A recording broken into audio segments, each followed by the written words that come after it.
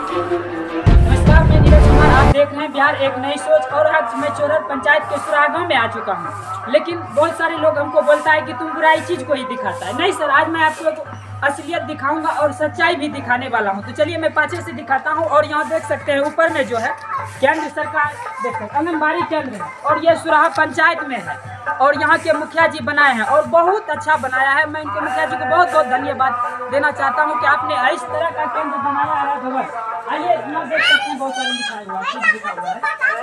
कम उम्र में शादी रोको, जीवन की बर्बादी रोको।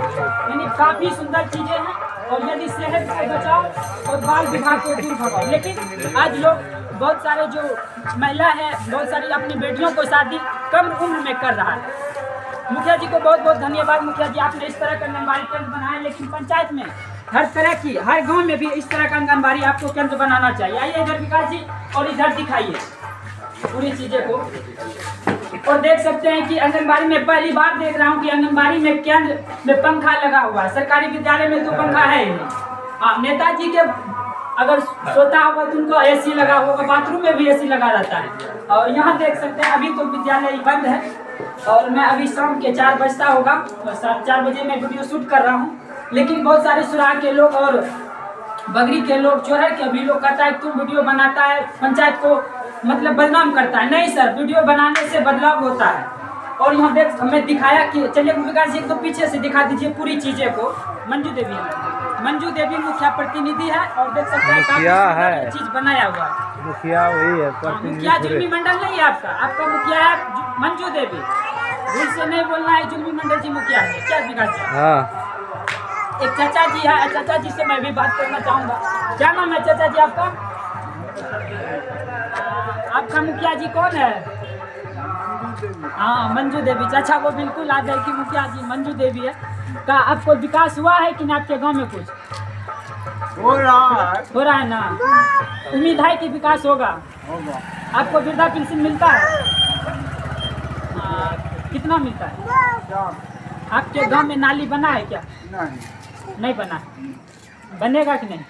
बने बनेगा। आपके गाँव में बिजली है कि नहीं? हाँ बिजली। नल जल? हाँ। पानी आता है इसमें? हाँ। चलिए। देखिए बात कर रहे हैं तो बोला कि हाँ नल जल भी है पानी भी आते हैं। माता जी हम इनसे भी बात करना चाहूँगा।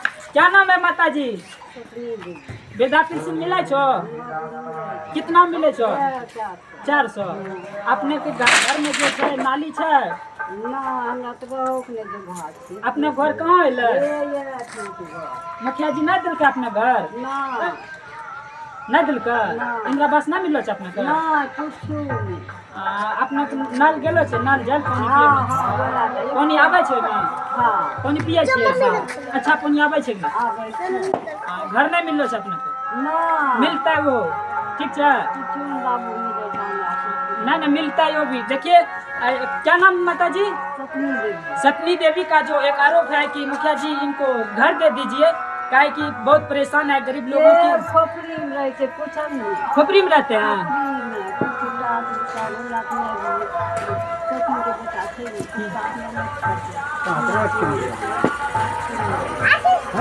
मिलता है मिलता है, ज़रूर मिलता है। माता जी, आपने घर मिलता है और मुखिया जी से मैं अनुरोध भी करे छी मुखिया जी, आप उनको घर दे दीजिए और इंदिरा आवास, आप धीरे धीरे काम कीजिए। बहुत अच्छा है चुरा के लोग आपको सपोर्ट करना है और बहुत सारे लोगों की काफ़ी है कि रहा है कि नहीं।